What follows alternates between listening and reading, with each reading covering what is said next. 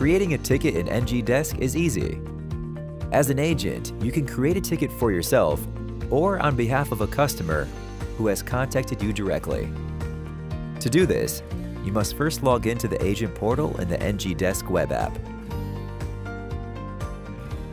Navigate to and select the Tickets module on the sidebar. Then click New in the top right corner of the work panel. This will display a new ticket form. If the ticket is on behalf of a customer, select the customer's name as the requester. If you are creating the ticket for yourself, set your name as the requester. In the subject field, briefly describe the issue and type the details of the issue in the message box below. Files and images can also be attached here. You have the option of defining the priority level of the ticket as low, medium, high, or critical. You can also choose to assign a ticket to a specific agent or team. Add the email addresses of anyone who needs to be CC'd on the ticket. Finally, click Save to create the ticket. If you have any questions, please contact ngDesk Support.